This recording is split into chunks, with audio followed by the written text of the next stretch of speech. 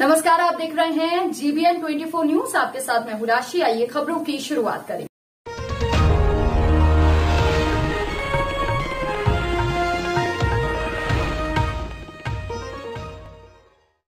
सुपौल ज़िले की त्रिवेणीगंज से बड़ी सामने खबर आ रही है, जहाँ शुक्रवार को अनुमंडल प्रशासन के नेतृत्व में प्रखंड के कई स्थानों से कच्ची शराब बनाने वाले स्थानों पर गहन छापेमारी की गई।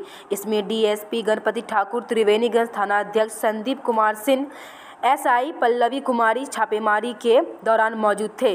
सघन छापेमारी के दौरान एसडीओ ने थाना क्षेत्र के बड़कुड़ुआ और मटकुड़िया के करीब 400 लीटर कच्ची शराब एवं कच्ची शराब बनाने वाले बर्तन सहित को मौके पर नष्ट कर दिया। हालाँकि छापेमारी में शराब के कारोबारियों भागने में सफल रहे। एसडीओ एस जेड हसन को बताया कि शराब कारोबारियों ने सम्मिलित लोगों को किसी भी सूरत में बख्शा नहीं जाएगा। इस कारोबार में जो भी लोग सम्मिलित हैं, उनके खिलाफ कड़ी कार्रवाई की जाएगी। मौके पर डीएसपी गणपति ठाकुर ने कहा कि शराब कारोबारी पर लगाम लगाने के लिए पुलिस लगातार छापेमारी कर रही है। पकड़े जाने पर जेल भी भेजा जा रहा है। छापामारी की गई है यहाँ पे बरकुरबा सतगंडी नदी के पास हम लोगों ने वहाँ पे डिस्ट्रॉय किया है कच्चा माल।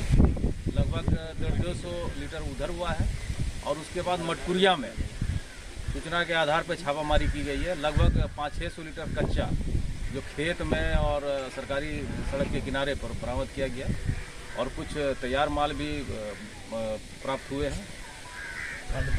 और कांड दर्ज किया जाएगा। यहाँ पे जो संदिग्ध हैं और जिनके घर के पास मिला है तो उसके विरुद्ध में प्राथमिकी दर्ज की जाएगी और ये सतत छापामारी चलेगी। साप्ताहिक पूरे अनुमंडल में। सर कारोबारी भी अरेस्टिंग हुआ है क्या?